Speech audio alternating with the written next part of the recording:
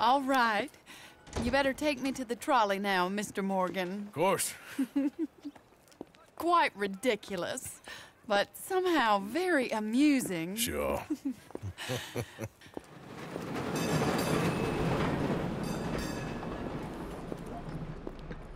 My life wasn't supposed to.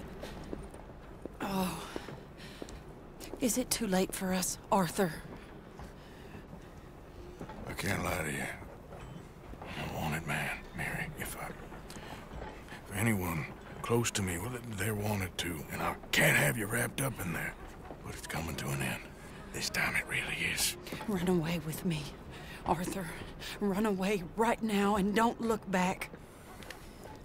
I want to. More than anything, I want to. But I've got some people I need to take care of. Once they're free, then I'm free. Then I can disappear. But Arthur... If we're gonna run away anywhere, we'd need money. Soon, I'll have some. I know you won't run away. But it's a pretty dream. Very pretty. But I will. Once I get some money. I had some. But then some fool got it trapped into a town that I can't go back to. That's another story. I'll write you.